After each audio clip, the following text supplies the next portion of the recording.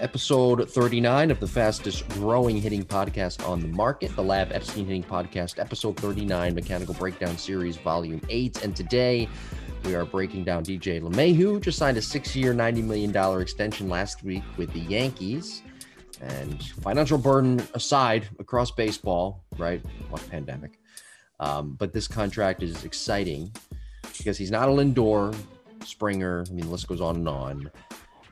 But uh, he brings something different, and to sign that that name on the dotted line for a guy who's not really considered a star, or at least wasn't considered too much of a star, back, going back to his time with the Rockies, this is a great thing for him, and it's certainly well deserved.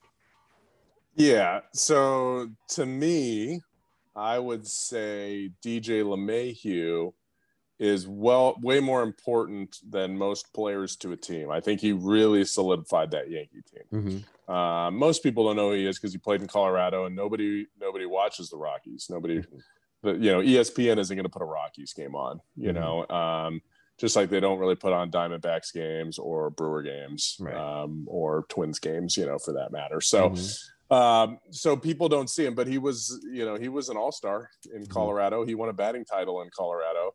Um, you know, he hit 348, you know, he hit 310, he hit 330, he's hit 330 twice, he hit 364 last year and right in somewhat of a shortened uh season you mm-hmm. know but he still had uh you know 200 at bats last year so yeah. you know he is a guy that's now he he has started to hit you know more home runs right now he's starting yeah. to hit you know double digits and, and more home runs so i've seen him since he started like I've seen him i've seen him since he came up you know with the rockies and he's a he's a quiet guy, right? He's not super flashy, but the dude hits. Yeah. And if I'm going to teach a kid, I know he's six foot, you know, four, I believe, something like that. But right. if I'm going to teach a kid how to hit, I'm going to use most of the components of LeMahieu's swing. So I'm really excited for this analysis because I haven't done a public analysis on him. I do it, use do it a lot for my players that are on the the you know the Epstein Online Academy or my sure. even my lessons here. I'll use him as a comparison. So mm-hmm this is going to be uh, this is going to be pretty pretty cool. Pretty cool. Excuse me.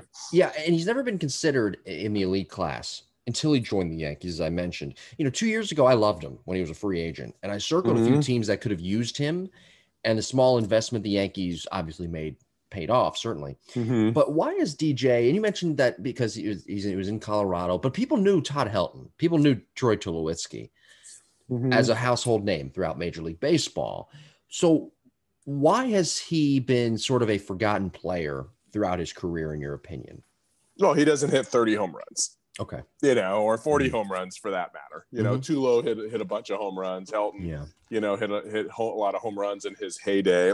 he really didn't. You know, he was a high average guy. Right. He used the whole field. That's not um, fun being the high average guy. It's it's not it's not fun in today's yeah. You know, I'm looking at his his home run totals, his his first, you know, I mean he hit two home runs and 230 at bats his first you know that was about a half a season mm-hmm. and uh, then the next year he hit two more home runs then he finally hit five home runs yeah six home runs 11 8 15 and then boom he hits more home runs in New York than he does in Colorado.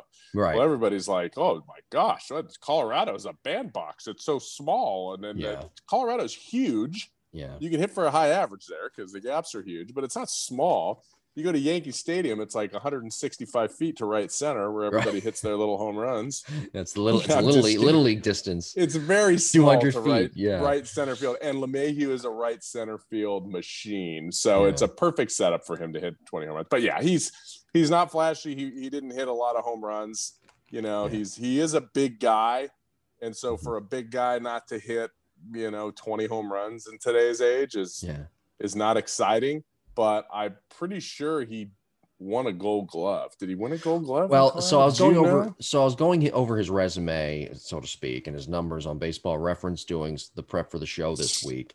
I didn't even look at his home run total in mm-hmm. any year because I knew he's just not a power guy. I always looked at the right. average, the on base percentage, and and the slugging as well, and the amount of doubles that he hits. So let me mm-hmm. let me mm-hmm. go over a little bit of his resume here. He plays college ball at LSU, hold the Tiger, second rounder by the Cubs, three time All Star, two time Silver Slugger, and batting champion. He was a two-time batting champion. People forget Mhm. that too. And you mentioned Gold Glove. He was a three-time Gold Glover as well. Okay. That's an yeah. excellent resume to me. Yeah. Right. Now you circle back to 2015. He was an All-Star that year. This is what I found.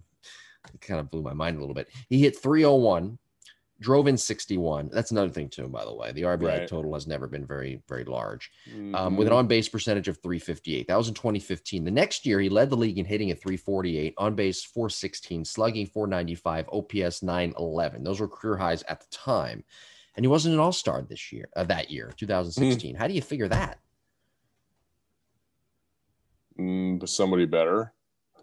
I, I guess he led the league in hitting. Maybe Baez came in that year. Baez, did Baez have a big year? What are you talking about? 16? 2016. Yeah. Who was the not even not even, but not even to be named to the team. Injustice. Maybe he got hot late. I mean, you hit 348. That's, I mean, you're hitting throughout the year. What are so okay? Good, good, good point. What are the what what kind of slump do you have to go through? What are the length of slumps you have to go through to To still hit be able to hit 348. 348 Oh, my Lord. above?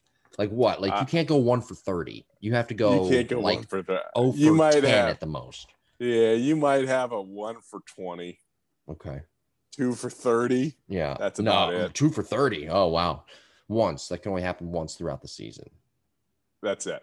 Yes.